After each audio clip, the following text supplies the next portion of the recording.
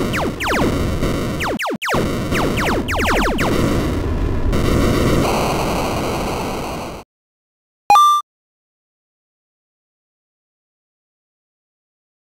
What's going on everybody? Average Arcader here and it's time for us to review another base mod. This one is the Secret Painting Base by Razzleberries. I happen to really love Razzleberry creations. They normally put a lot of detail into their stuff and you can already see we haven't even gotten into the base yet and nice little custom village and they put it in between two normal villages which is pretty clever. We'll check more of that out later. Let's go ahead and get into the base. Okay. So here's the entrance to the base, but if you see here, hang on, there we go. Hit the right area. It's like you never even know it's there. and there we go. Oh, mega. Get in.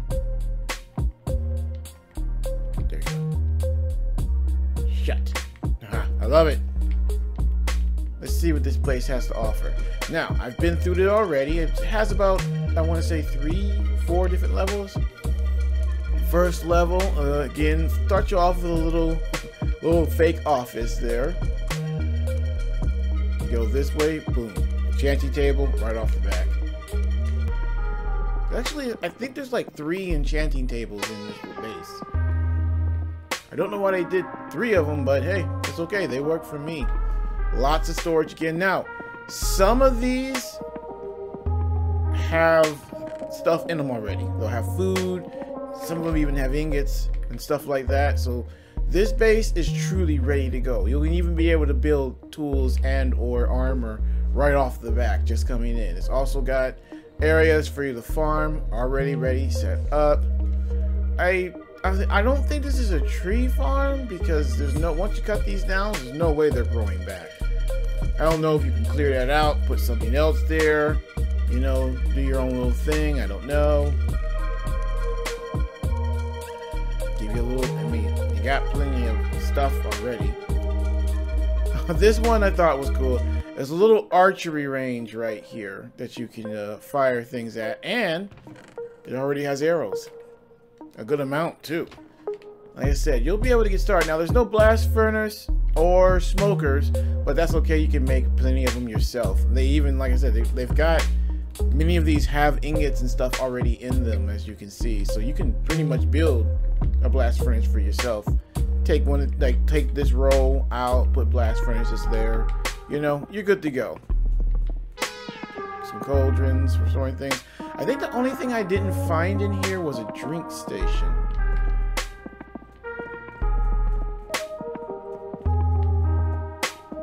This is beginning of your own little mine. There's also no nether portal, but again, you can build that yourself. You got all the supplies here. Like this is already ready to go. See the little mine thing, got some diamond right there, ready for you to go. Wait, was there anything in this chest? A fishing pole. So you can go ahead and fish out that little thing if you want. I mean, you won't really need to. You'll have plenty of starter food. I think if I remember correctly, there's like three beds in the underground part of the base. All the, vill the villages up there have tons of beds up there, so, you know, you'll have plenty. Getting more storage, again, more furnaces. And as you saw, stuff is in them.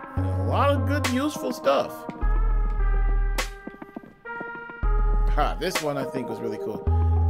This has a pig spawner ready to go. And they can't leave this room, so you can come, take a bunch of them out, use the spawner some more to get some more. So you've got XP and food right there already ready to go. Again, more storage. Plenty of storage. You're not going to run out of storage in this one. I said it's kind of one of those short and sweet type bases. It's not too complicated, but everything is functional. Another enchanting table, but this one actually has lapis already here. So that you can actually enchant. So many of these will set up this elaborate enchanting table, but not give you any lapis. So you're like, okay, so I gotta go dig that out. I mean, it's not a huge amount, but you can at least, again, get started. Does it leave you completely in the dark having to start from scratch? Many people ask me what's the point of base maps. I'm like, this is why. So you can do a survival run and not have to worry about building a base. You can instantly get started in exploring or finding places to build and setting stuff up immediately instead of having to build a startup base get you know get your startup tools together get all these things put together to do that now your final level is just a little makeshift dungeon little area now if i remember correctly one two i think there's four um, zombie villagers in there so you can cure them and then use them to populate the village that's on top i think that's pretty clever that they have that set up right there and, you know, you don't have to cure them. You can kill them or simply leave them in there as decora decoration. You know, you got your own little four villagers entrapped. So that's pretty much the whole entire base inside. Like I said, it's not huge, but it's cozy, it's functional. That's the most important thing. It's functional and ready to go. This is not meant to be a spectacle. It's meant to be practical so that you can actually use it, which is pretty good. again, my favorite feature is the fact that, you know, you can basically hide it. If you don't tell your friends what type of map this is and just have them come in, they may actually not find it. You know, if they're good friends that don't go around destroying your, you know, villages and stuff that you make. Shut. All right, let's see what the uh, open area looks like. Let's get some daylight in here first.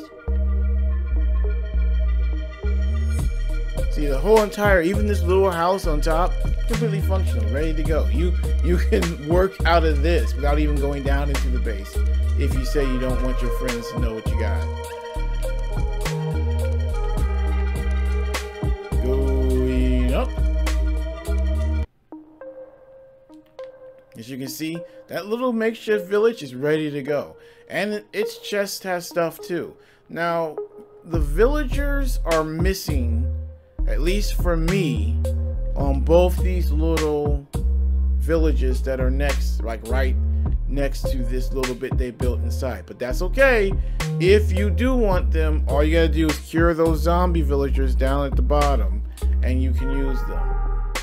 But everything else is ready to go. I love how they have a little pond here, um, a, a little windmill.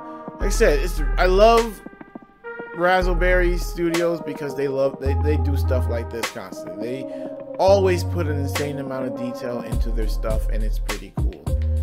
Always enjoy it. Alright. I love the terrain of the surrounding area. Now, many of these base mods that I do normally have tons of villages. This one, not that many. There's a good amount uh, once you get a little further out, but close. There's not too many, which is okay because this terrain is so nice. I want to build my own villages in. One of my things I love to build, especially on my survival builds, is like medieval kingdoms, castles, you know, medieval villages, all that type of thing. That's what I like to do. And they always look good when you have hillsides and cliffsides and mountains to build them on, or in between, or underneath, or around. So this is very nice. Also, I went over to the desert over there, this close desert. As you can see, it's really close to spawn. There are five desert temples over there. I'll show you um, their coordinates right now. Um, yeah, there's five of them. I went to each one and I put the coordinates up, so you're going to be able to see them right now really close. As you can, as I showed you, it's not that far. Once you get to that desert, you'll be able to find all of them.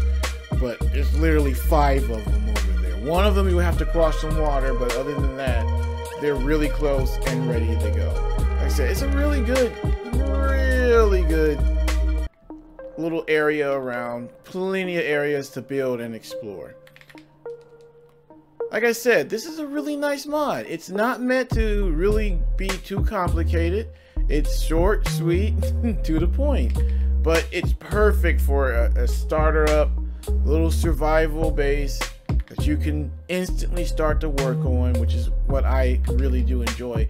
I really may have to do a video, uh, let's play survival series with one of these bases where I start out with one of them and then go through a regular survival run where I build a build like a build something cool, and then maybe go kill the Ender Dragon, something like that.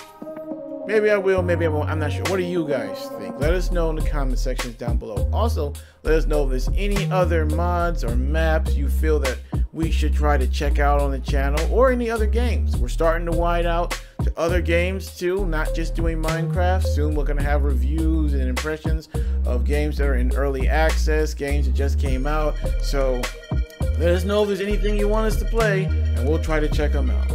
But until next time, thanks again for watching. If you watched and to the end, you are awesome. Also, if you liked what you saw, make sure to leave a like, share, and subscribe. Also, don't forget to hit that notification button. It alerts you every time we make a new video on the channel. But thanks again for watching. I'm Average Arcader, and I'll catch you next video.